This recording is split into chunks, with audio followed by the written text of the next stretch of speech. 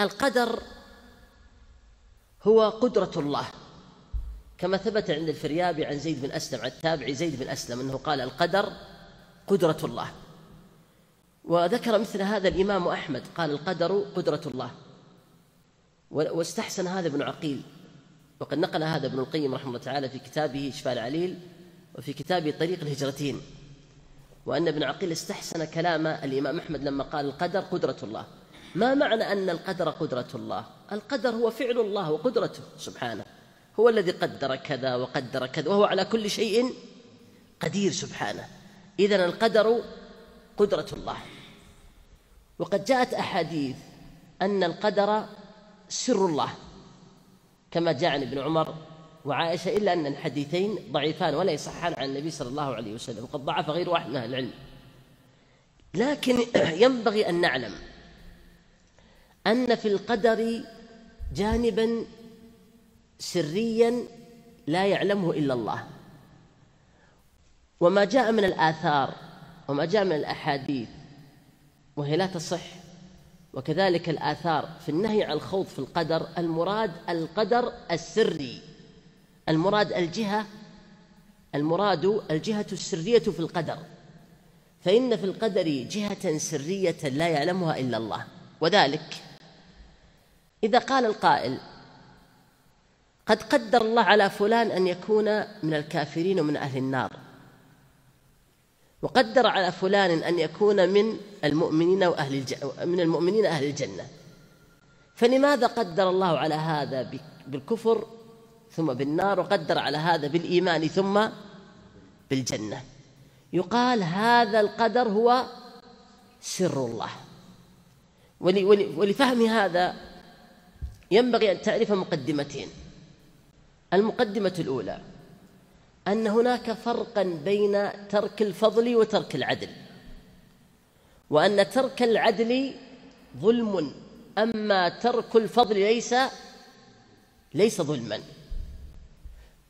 وقد بين هذا شيخ الإسلام ابن تيمية في كتاب الجواب الصحيح كما في مجموع الفتاوى وابن القيم رحمه الله تعالى في كتاب الشفاء العليل. فترك الفضل ليس ظلما أما ترك العدل ظلم. فلو أن رجل استأجر أجرين على أن يعطي كل واحد منهم مئة ريال في ساعة فعمل ساعة فإن كل واحد منهم يستحق مئة ريال.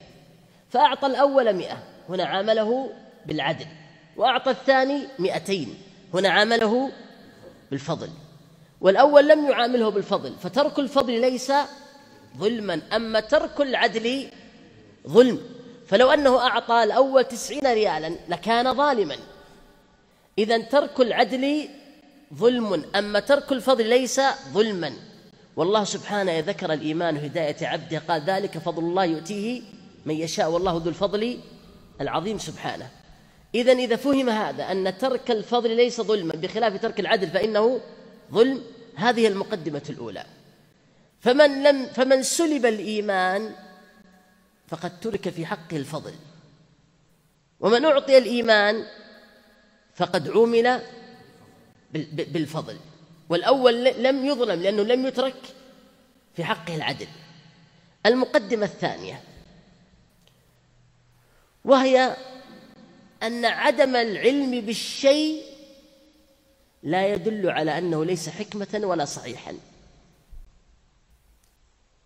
وهذا أمر يدل عليه الواقع والشرع. عدم علمنا بشيء لا يدل على أنه غير صحيح أو أنه ليس لحكمة. فما أكثر الأشياء التي لا نعلمها ولا يدل عدم علمنا بها أنها ليست صحيحة. وقد عقولنا لا تدرك شيئا وعدم إدراك عقلنا لشيء لا يدل على أنه غير صحيح أو, أنه لغير حكمة. هذا في تعاملنا مع العباد. ومن أمثلة ذلك لو أن طبيبا حكم على مريض بشق بطنه اتفق جمع من الأطباء الثقات على أن فلانا المريض لا بد أن يبقر بطنه وأن يشق وإن لم يفعل ذلك فإنه سيموت. فلو قال المريض اشرحوا لي هذا الأمر فشرحوه له ولم يستوعبه. هل يصح عقلا ألا يوافق؟ لا يصح عقلا ألا يوافق لأن عدم استيعابه للأمر لا يدل على أن الأمر غير صحيح أو أنه ليس لحكمة. هذا في حق مخلوق مع مخلوق فكيف مع الخالق؟ سبحانه. إذا فهمت هاتان المقدمتان.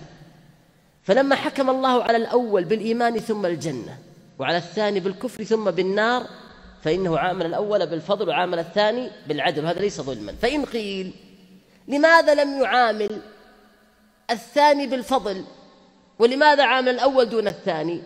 يقال قطعا أن هناك حكمة لأن الله حكيم عليم وهو الحكيم العليم. وقال سبحانه أليس الله بأحكم؟ الحاكمين. قطعا أن هناك حكمة حكمة.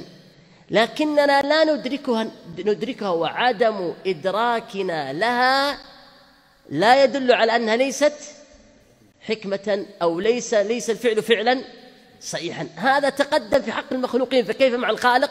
سبحانه.